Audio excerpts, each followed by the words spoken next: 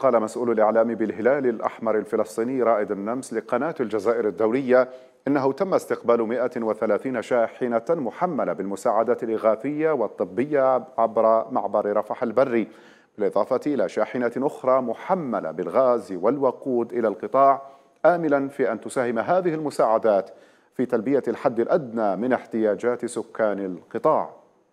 قمنا باستقبال نحو 130 شاحنة محملة بالمستلزمات الطبية والمواد الإغاثية والمستلزمات الطبية أيضا. وهناك عدد من الشاحنات التي جاءت محملة بالغاز وبالوقود والذي هو طبعا مهم الآن جدا في ظل تواصل العدوان الإسرائيلي لأكثر من خمسين يوما على سكان قطاع غزة ومعاناتهم من عدم توفر الكهرباء والمياه وبالتالي هناك كانت عدة مشاكل مركبة يعاني منها قطاع غزة. نأمل أن يت... في هذه الفترة وفترة الهدوء وإدخال المساعدات أن تساهم في تلبية احتياجات الحد الأدنى